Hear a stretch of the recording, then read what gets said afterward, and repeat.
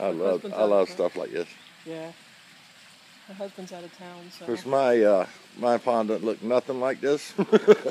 I'm enlarging mine in about three weeks. I've been working on mine already. It, I've got about fifteen thousand gallons. Oh, do you? Uh, it's it's big. It's Yeah. big. Look at the size of those koi. Yeah, they're huge.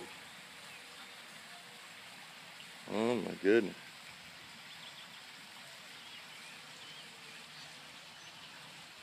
I actually drove up from Charlotte.